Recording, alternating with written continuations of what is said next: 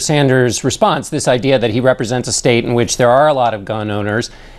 Don't, You were a senator. You aren't you sympathetic to that? I mean, you said you represented Wall Street, and that's what shaped your views on certain Wall Street policy. And you suggested that as president, you'd be different than you did as senator when you were representing a state with a constituency. So why isn't it fair for Bernie well, Sanders to say, as president, I would be different than I would as a senator representing a state with a lot of gun owners? Well, you know, I think you, have really mixed up two uh, important issues here. I've been consistent on gun lobby uh, uh, restrictions. In fact, I supported the Brady bill. Senator Sanders voted against it five times. Uh, so there's a very clear difference.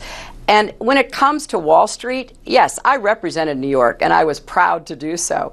And I took on Wall Street. I'm the person who came out against, uh, you know, derivatives. I'm the person who came out calling for restrictions on CEO pay, which thankfully got into the Dodd Frank bill.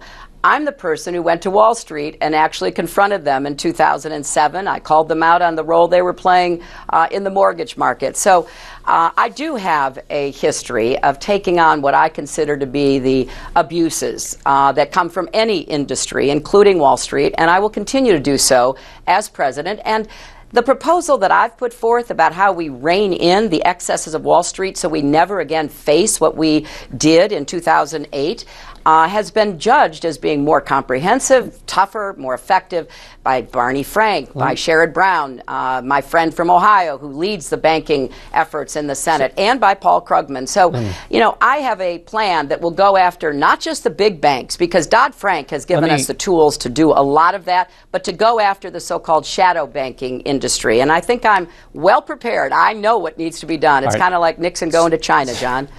All right, Senator, let me, uh, let me ask you about a, a general